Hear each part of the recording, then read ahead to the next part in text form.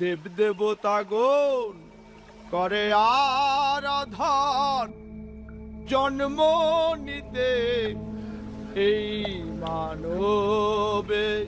এমন মানব জনম কি আর হবে রে? ঠিকই কইছ সাই। দেবতারাও মানুষ হয়ে জন্মায় ইসির টানে এই যে অবস্থানটা এই যে লেভেলটাতে এই জায়গাটা থেকে যদি কেউ মুক্তি পাইতে চায় তাকে আবার মানুষ বা মনুষ্য জন্মে আসতে হবে। দেবজনী থেকে তাকে আবার মনুষ্যজনিতে আসতে হবে। মনুষ্যজনী থেকেই একমাত্র যা করো তরাই করো এইভাবে আমি আপনানন্দ আপনাদের সাথে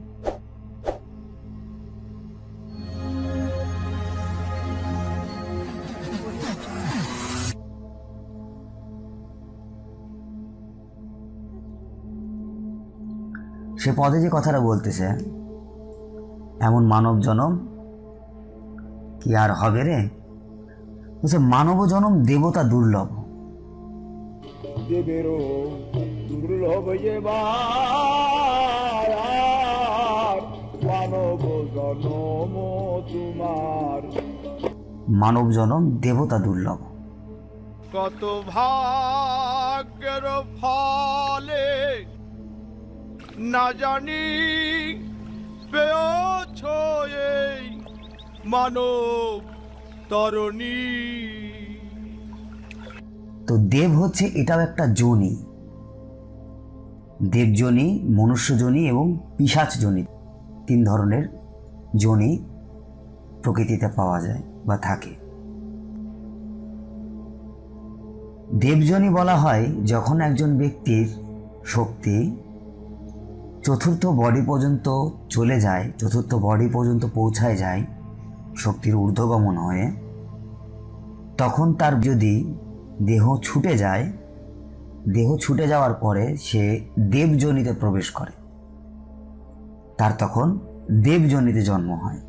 যেমন একটা পশু একটা লেভেল পরে বা একটা এনার্জি একটা লেভেল পরে, পশুর জনি থেকে যখন তার তৃতীয় চক্র যখন সক্রিয় হয়ে ওঠে প্রকৃতিগতভাবে তখন সে মানব হিউম্যান বডি পায়। এই হিউম্যান বডি মূলাধার থেকে মূলাধার এবং স্বাধিষ্ঠান এবং মণিপুরায় তিনটা চক্র হিউম্যান বডিতে পূর্ণাঙ্গ রূপে সক্রিয় থাকে এবং সচেতনভাবেও কাজ করে। কিন্তু পুরোপুরি পূর্ণ সচেতন না, এগুলো নিজস্ব সক্রিয়তা আছে। কিন্তু এর উপরে যেটা আছে, সেটা হচ্ছে হার্ট চক্র। বা আমাদের যে হৃদয় গ্রন্থি আছে, এই চক্র যখন সক্রিয় হয়ে যায়, এই চক্র সক্রিয় বিভিন্ন কারণে হইতে পারে। যদি এই সক্রিয়, এই চক্র যদি সচেতনভাবে কারও সক্রিয় হয়, তাহলে সে দেবজনিতে প্রবেশ করে। আর যদি কারও সচেতনভাবে সক্রিয় না হয়, তবে সে পিসাচজনিতে সে তখন প্রবেশ করে। পিসাচজনি আর দেবজনির মধ্যে তফাৎ এতটুকুই পিসাচজনিতে দুঃখ এবং অস্থিরতা প্রচুর। এবং এই দুঃখ এবং অস্থিরতার জন্য, কারণ এটা হচ্ছে অজ্ঞান অজ্ঞান একটা অবস্থা। একটা অস্থির অবস্থা। অজ্ঞানতা সবসময় অস্থিরতাই তৈরি করে। এটা ভয় ভীতি ভাব যে কী হইল। আমরা যখন কোনো কিছু বুঝতে পারি না, আমরা কিন্তু অস্থির হয়ে যাই। যে কোনো কিছু ঘটলে আমাদের সাথে। অনেক সময় দেখা যায় জিনিসটা নেগেটিভ হয়, আবার অনেক সময় পজিটিভও হয়।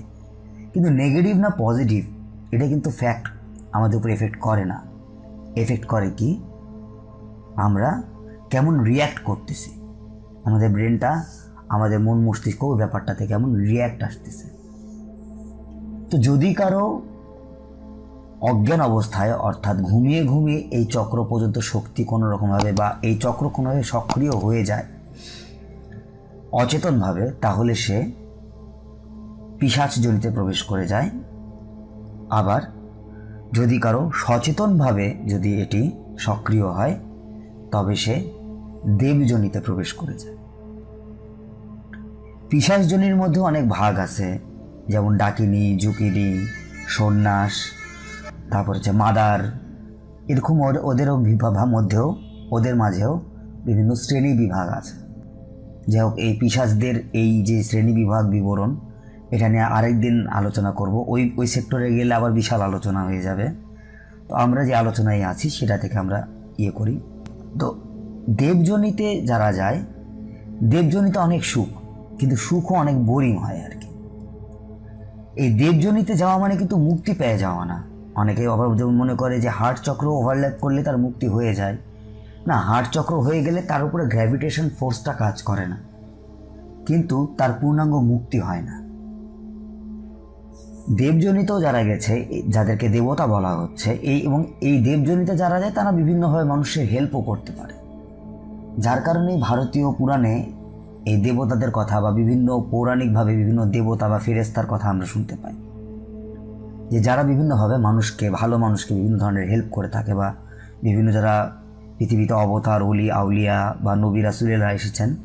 তাদেরকে এরা হেল্প করে থাকে।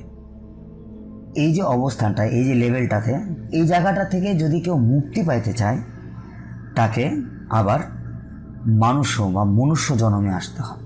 দেবজনি থেকে তাকে আবার মনুষ্যজনিতে আসতে হবে। মনুষ্যজনি থেকেই একমাত্র যে মুক্তির যে যাত্রাটা, সেটা একমাত্র সম্ভব। কারণ এই হিউম্যান বডির কিছু ফ্যাক্টস আছে। এই হিউম্যান বডির একটা ফোর্স আছে। এই হিউম্যান বডির একটা শক্তির একটা প্রবাহ আছে।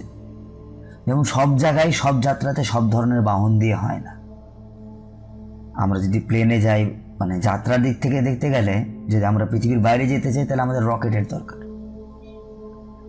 একমাত্র রকেট ছাড়া কিন্তু আমরা স্পেসে যাত্রা করতে পারব না। আবার দেখা যাবে যে, যদি কেউ এক দেশ থেকে আরেক দেশে যেতে চায় তার কিন্তু রকেটে যেয়ে লাভ নাই। সাপোজ একজন অ্যাস্ট্রোনট, তার বাড়ি হচ্ছে কলম্বিয়াতে।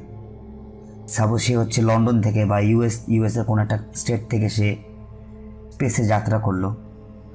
এখন বাসাতে আসতে সে কিন্তু ডাইরেক্ট রকেট থেকে বাসায় কিন্তু নামতে পারবে না। তাকে প্রথমে রকেট দিয়ে নেমে আগে ওখানে ল্যান্ড করতে হবে। রকেট দিয়ে তাকে পৃথিবীতে আসতে হবে। সে কিন্তু ডাইরেক্ট কিন্তু চাঁদে থেকে রকেট নিয়ে কিন্তু ডাইরেক্ট বাড়িতে যেতে পারবে না। তাকে রকেট নিয়ে আসতে হবে প্লে বা স্পেস থেকে কিন্তু প্লেন নিয়ে সে ডাইরেক্ট বাসাতে আসতে পারবে না। তাকে নেমে আবার কিন্তু প্লেন নিয়ে বা বাস করে বা ট্যাক্সি করে বা প্রাইভেট কারে কিন্তু আবার তাকে বাসায় আসতে হবে। যেই জায়গায় যে গন্তব্যে যাওয়ার জন্য যেই বাহন জাস্ট আমি বুঝাইতে চাচ্ছি যে গন্তব্যে যাওয়ার জন্য যেই বাহন লাগবে, সেই বাহন ছাড়া যাওয়া সম্ভব না। এই দেহ হচ্ছে একটা বাহনের মতো। যে বাহন দিয়ে সেই সেই যাত্রাটা একমাত্র, সেই চৈতন্যের যাত্রাটা একমাত্র সম্ভব।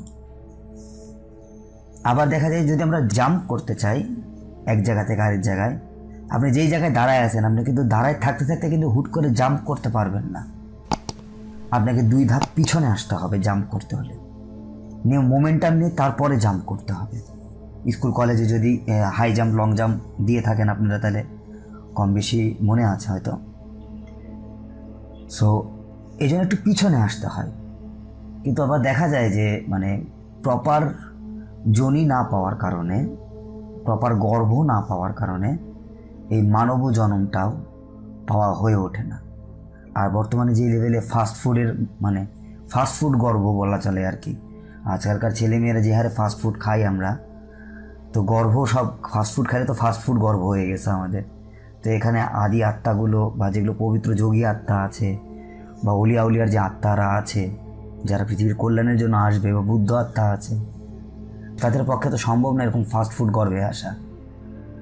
তো আমাদের সবচেয়ে বড় সমস্যা হয়ে গেছে যে আমাদের দৈনন্দিন যে আমাদের রুটিনগুলো আছে বা আমাদের যে লাইফস্টাইল আছে, দিন দিন এটা অনেকটাই খারাপ হয়ে গেছে। না সেই শক্তিকে ধারণ করার মতো, মস্তকে ধারণ করার মতো কোনো পুরুষ পুরুষ আছে, আর না ওই বিষকে ধারণ করার মতো কোনো গর্ব আছে। এমন একটা সিচুয়েশন চলে আসছে। যার কারণে কিন্তু দেখা যায়, এখন কিন্তু ভূত প্রেত কম দেখতে পাবেন। ভূত প্রেতের সংখ্যা কমে যাওয়ার মানে মূল কারণটাই এটা যে এই ভূত প্রেতগুলো জনই পেয়ে গেছে। মানুষকে দেখলে আপনার ভূত প্রেত দেখার আউস মিটে যাবে। কারণ এই যে ভূত প্রেতগুলোকে আগেকার দিনে দেখা যেত, আমাদের যে দাদা দাদি বা নানা নানির কাছে যে আমরা ভূত প্রেতের গল্প শুনতাম, ওই ভূত প্রেতগুলো মানুষের জন্ম পেয়ে গেছে। কারণ আমাদের বর্তমানে মানুষের এমন অবস্থা যে এতে কোনো দেবতা বা পূর্ণ আত্মা জন্ম নেওয়ার মতো অবস্থা নেই। ভূত প্রেতরা ইজিলি এন্ট্রি করে যেতে পারে। যার কারণে ওরা জন্ম পেয়ে যাচ্ছে, ওরা মানুষের জন্ম পাচ্ছে দেবতাদের প্রবলেম হয়ে যাচ্ছে। এটা জাস্ট আমি একটু মজা করে বললাম বিষয়টা আর কি, কিন্তু অবস্থা কিন্তু আমাদের এমনটাই। আবার দেবতারা যে জন্ম নিবে, এই জায়গাতে অনেক বড় এবং সূক্ষ্ম, অনেক প্রবলেম হয়ে যায়। যার কারণে দেবতারা মানব জন্ম পাওয়ার জন্য মানে আকুল কেন? অনেকে মনে করতে পারে যে দেবতা, দেবতারা তো মুক্তিপ্রাপ্ত।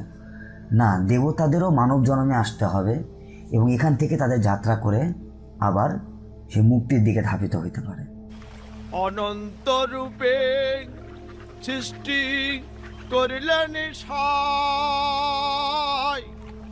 শুনি মানবের উত্তম কিছুই নাই। কারণ আমাদের যে সাতটা চক্রর যে কথা বলা হয়, এই যে চক্রের যে এনার্জি ফোর্সের কথা বলা হয়, এই যে ফোর্সটা এই ফোর্সটা দেবজনিতে নেই। দেবজনিতে ওই ফ্যাসিলিটিস নেই। দেবজনিতে ওই বাহনটা নেই, ওই সাধনটা নেই, যেটা মানব দেহেতে আছে। আর দেবতাদের অবস্থা মুক্তি পেয়ে যায়নি ওরা। ওরা চতুর্থ বডি ওভারল্যাপ করার কারণে ওরা এক সুখের একটা অবস্থায় চলে গেছে। আনন্দের না কিন্তু। সুখ কিন্তু বোরিং লাগে। আনন্দ কখনো বোরিং লাগে না। সুখে একটা বোর্ডেম টাইম টাইম আছে। এজন্য দেখা যায় যে, যাদের সেন্সিটিভিটি বেশি, তারা খুব শর্ট টাইমে ওই সুখে তারা বোরিং ফিল করতে লাগে। আবার দেখা যায় যে, অনেকের মানে সেন্সিটিভিটি খুব কম। তারা লং টাইম ধরে দেবজনিতেই আছে। আপনি ওখানে তো হাজার হাজার, লাখ লাখ বছরও থাকতে পারেন। কোটি কোটি বছর আপনি পার করে দিতে পারেন আপনি ওই অবস্থাতে। সাইজির পদে বলছে যে মানব জনম আশায় দেবদেবতাগণ বাঞ্ছিত হয়। এই জনমটা পেয়ে আমরা যে কি কাজে লাগাইলাম, কোনো কিন্তু কাজে লাগাইতে পারতেছি না। আমাদের পুরো লাইফটাই দেখা যাচ্ছে যে বিভিন্ন কাজে আমরা সময় নষ্ট করে ফেলতেছি। আবার অনেক ভাবতেছি, এখন তো অনেক টাইম হয়ে গেছে, আর মনে হয় কিছু হবে না। এটা ভাবারও কোনো কারণ নাই। সেই জন্য আবার লাস্টের অন্তরে সাজি বলছে যে এখনও শ্বাস আছে বজায়। ওজা কর মন তাই সিদ্ধি হয়। গর্বের সিরাজ সাইতাই বারে বার কয়লাল মেরে এখনও শ্বাস আছে বজায় যা করো মন তাই সিদ্ধি পায়। এই শ্বাসটা যতক্ষণ আছে ততক্ষণই সিদ্ধির সম্ভাবনা আছে। আজকের মতো এ পর্যন্তই। আমার কথাগুলি ধৈর্য সহকারে শোনার জন্য আপনাদের সকলকে অনেক ধন্যবাদ। আপনাদের সকলের প্রতি আমার প্রেম ও ভক্তি রইল। আমাদের আপন দর্শন চ্যানেলের ভিডিওগুলি ভালো লাগলে লাইক করুন, শেয়ার করুন, আর ভিডিও আপডেট পেতে সাবস্ক্রাইব করুন। ধন্যবাদ। এমন মানব জন আর কি হবে?